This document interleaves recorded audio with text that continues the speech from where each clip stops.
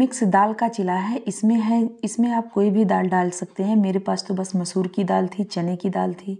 और उड़द की दाल थी तो ये छिलकी वाली सारी दाल थी तो मैंने बस बनाया बच्चों की फरमाइश पे। तो इसमें क्या करना है, एक कप चावल ले लेना है और उसका जस्ट हाफ़ दाल लेना है। तो सभी दालें मिक्स कर लेना है, जैसे एक कप चावल है तो आधा कप मूंग की दाल हो गई, आधा कप मसूर की दाल हो गई और आधा कप उड़द की दाल हो गई, चने की दाल हो गई। जितनी दाल है, ये हाफ़ हाफ़ कप आप डाल सकते हैं।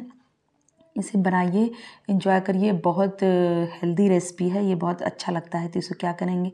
सभी दालों को अच्छे से धो लेंगे, दो से तीन पानी तक। अच्छे से धो के साफ़ करके इसको सोख करके रख देंगे रात भर के लिए, या फिर तीन से चार घंटे भी आप सोख करके रख सकते हैं। और इसे ग्राइंडर में डाल के एक अच्छा सा स्मूथ सा पेस्ट बना लेंगे।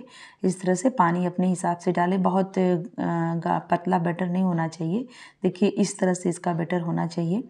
तो इसको डालिए और इसको पीसिए दो बार में या तीन बार में, इसका पेस्ट बन जाएगा, जिस हिसाब से हमारी दाल होगी। तो यहाँ पे मैंने एक बार मैं इसको ग्राइंड कर ली हूँ। अब मैं दूसरी वाली जो बची हुई दाल है ना, वो डालूँगी और साथ में मैं डालूँगी दही। तो आप दही या पहले वाले में भी डाल लें या लास्ट वाले में भी डाल लें। लेकिन दही डालना इसमें ज़रूरी है। जिस तरह से दाल है, जैसे यहाँ पे मैं फोर टेबल स्पून दही डाली हूँ और उसके साथ दही डाल के ग्राइंड करके पेस्ट बना ली हूँ। जब सारी सारी चीज़ें पेस्ट हो गई तो नमक डाल के इसको मिक्स करना है अच्छे से। जब ये मिक्स हो जाएगा ना तो इसे मिक्स करने के बाद भी थोड़ा सा दो घंटे के लिए इसको रख दीजिए। अगर हो सके तो अगर टाइम नहीं है तो आप तुरंत भी इसको बना सकते हैं। इसमें कोई वो नहीं है। बस आप इसको तुरंत बनाइए तो भी खाइए तो अच्छा लगेगा। और इसमें लास्ट में डालेंगे इनो। तो फ्रेंड्स मैं इनो डालना मतलब मैं दिखा नहीं पाई हूँ। इसमें इनो ज़रूर डालें और अपनी कटी हुई जितनी सारी वेजिटेबल हो, जैसे प्याज हो गया, टमाटर, गाजर, शिमला मिर्च, ये सभी सब्ज़ियाँ इसमें डालेंगे। और भी अगर सब्ज़ी हो तो वो भी आप उसको पतले पतले काट सकते हैं या कद्दूकस करके डाल सकते हैं। ब्लैक पेपर डालें ब्लैक पेपर का पाउडर डालें।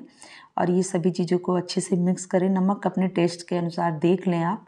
फिर मिर्चा लाल मिर्च पाउडर थोड़ा सा डालें। अगर आपको तीखा पसंद है तो वरना इसको कर सकते हैं इसे। हरी मिर्च से भी काम चल जाएगा। और थोड़ा सा स्पून आधा टेबल स्पून गर्म मसाला डालेंगे। इन सभी चीज़ों को मिक्स कर लेंगे अच्छे से। जब ये मिक्स हो जाएगा ना तो इसमें कढ़ी पत्ता भी डाल देंगे लास्ट में। तो अभी क्या करेंगे अपना सब मिक्स हो गया, इनो डाल देंगे लास्ट में।